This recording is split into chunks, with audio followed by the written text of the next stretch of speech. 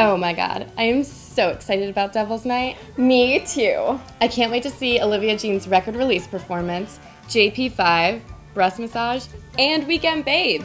Yeah, and we're gonna be selling Olivia Jean's limited edition Devil's Night lavender colored vinyl LPs with a glow in the dark slipcase. That's so sick. And it's hosted by Unknown Hinson. Liquid chicken, baby! This is gonna be so much fun.